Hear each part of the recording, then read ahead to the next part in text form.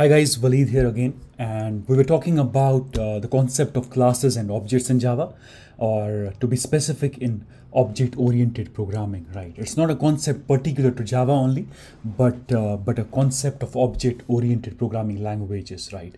And as I said in the last video, that is uh, whatever you're going to do in object-oriented programming it's going to revolve around the concept of class and an object. So very important that you have a good understanding of these two concepts. So in the last session we were discussing about what a class is what an object is. Let's try to write some java code about these two concepts and let's get the ball rolling. All right so i'm going to create a new class here for you. As we do in Eclipse through the wizard and in the same package com.waleed.training I'm putting this name to class object demo. Let's call it class object demo, have the main method and hit finish. So Eclipse creates the file for us and again opens it for editing, right? So now let us do some concrete stuff here. So I'm going to create a class. So in the previous video, we took up one of the classic examples of a class and an object that is the idea of the almighty that is the human right and its objects.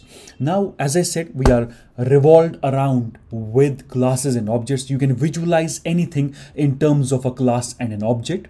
So let's take another example here. Let me take an example of a thing that we use every single day, every other second, and that is a smartphone. And a smartphone, somebody somewhere would have designed it on a piece of paper or on a sticky pad, for example, or on an iPad, right? So, how did that look, right? So, let's design that. So, I'll say class smartphone. As I said, you can take any examples you want, guys. And in a smartphone, what are the different things in a smartphone? Like we can make calls so it would be a method in the smartphone class. And for demonstration, always a good idea to put in a println statement. But otherwise, what goes in the make calls method of a smartphone class, that is logic of how a smartphone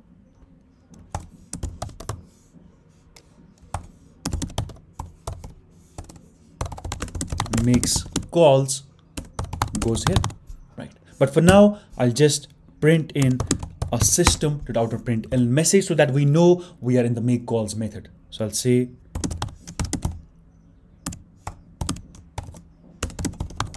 so we know when this would be printed we are in the make calls method. The other thing a smartphone does these days is we text each other right? So i'll say text persons or text people for example. And again the logic for how does the smartphone is able to, how a smartphone is able to text others goes on in this particular method. So for now, I'll just say system out of println smartphones text people. And then you have other methods like, for example, void browse the internet. Obviously, one of the core functionalities of any smartphone these days is the capability to browse the internet, guys. Without it, I'm sure nobody would even buy a smartphone, right? So I'll say logic for browsing the internet goes here. Okay. And similarly other methods which are in the smartphone class. So this is the idea of a smartphone guys. And a smartphone has a other set of properties as well. That is for example a smartphone has a head. Or for example you can say our charging port. Right. It's a variable for example guys. A smartphone has you can say for example a camera.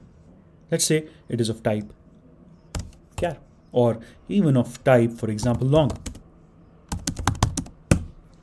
Every smartphone has that these days. So two set of properties, guys. These are the methods. These are what I call as the instance variables. And together, these are called members of a class. That is this time, I have three methods in this class. Make calls, text people, browse internet. And I have two instance variables, charging port and camera. Right.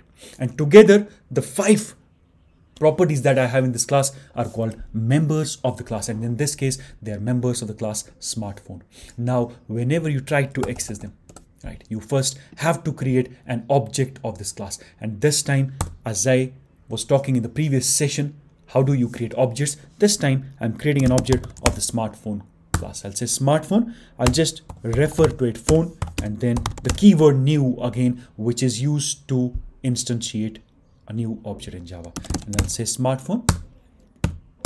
All right. And then if you want to call any of these properties, I can say phone dot. See? Eclipse gives you a good looking IntelliSense here. I'll say phone dot camera. How many cameras i have in the smartphone? Let's say you're talking about a modern day smartphone camera like the samsung galaxies or the iphone 12 for example i'll say or even the pixel 4 i'll say phone camera is equal to 3 you're seeing that in the latest smartphones that are rolling out these days guys.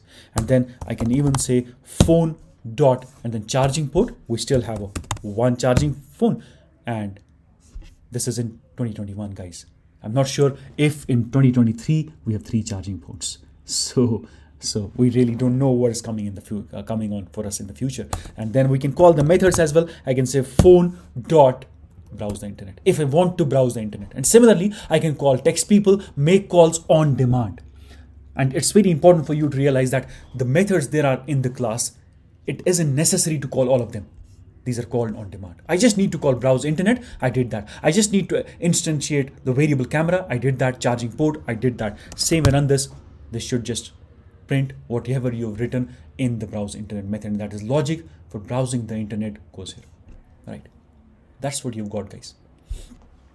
And that is, I've just created a simple class, the idea of a smartphone and the idea of an object. And as I said, you're revolved around with ideas. And one of the things to measure yourself on a particular programming language or a particular concept, as I always tell my learners, is your ability to draw different analogies, your ability to draw different examples.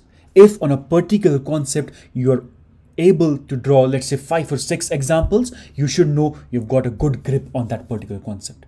If your problems drawing on even one or two examples, then you know more efforts need to be put in for understanding that particular concept. As I said, I just took in the example of a human class, the example of a smartphone. You can have any number of examples for classes as you want. You can have an example of a pen, a class pen, a class marker, a class pencil, a class furniture, a class chair, a class table, a class monitor, a class computer. These are all classes and then we have their objects, right? When we instantiate them, guys.